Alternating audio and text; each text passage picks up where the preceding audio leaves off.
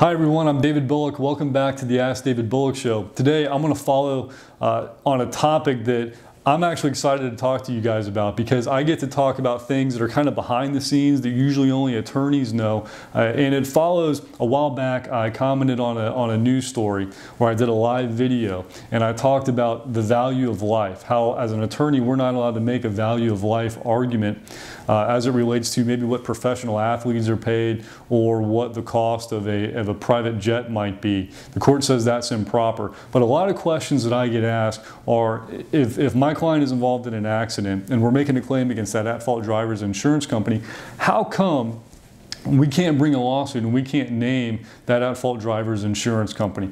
So you're watching the Ask David Bulluck Show. Stay tuned to find out the answer.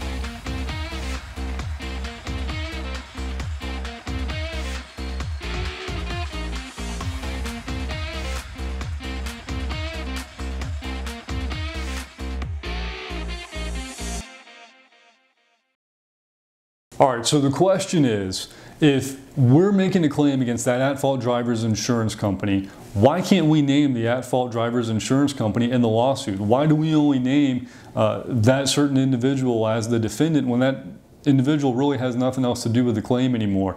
And it's a good question. The answer to that question is the insurance company's lobbied and they got a statute passed in the state of Florida and it's called the non-joinder statute. And what it says is that even though the insurance company, they're the ones, they have the insurance adjusters, they're the ones that are making all the decision as to how much are they're going to value the claim, what are they going to offer on the case as far as trying to settle it.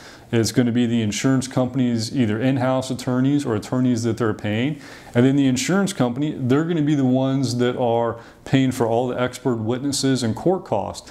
But they're going to hide behind their insured which they're going to use his name, put his name up in the lights, but really they're insured after the accident happened their insured really doesn't have anything to do with the case anymore. So the insurance companies have taken that under the theory that if, if a jury sees an insurance company's name uh, in, the, in, the, on the, in the case style, then the jury is going to think, well, this is an insurance company, we really don't care we're going to give the plaintiff a whole bunch of money, which is kind of counterintuitive when you think about it because one of the instructions that the jury is given, uh, and it's one of the very first ones given to a jury, is they're not to use sympathy. They're supposed to use their life experiences, use their common sense, and they're supposed to evaluate the evidence that's presented, and based upon that evidence, they're supposed to render a verdict which fairly and accurately represents what the evidence is.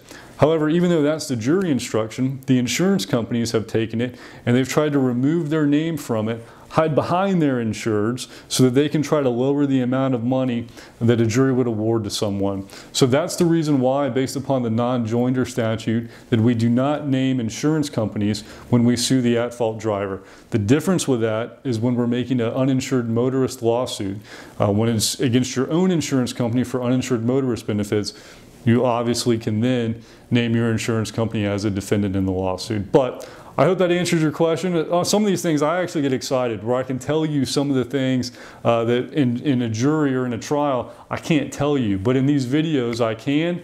And so I hope this kind of gives you a behind the scenes look and answer something uh, that if you don't know an attorney that you've thought about but maybe didn't know who to ask. But again, thank you for watching the Ask David Bulluck Show and continue to stay, keep watching.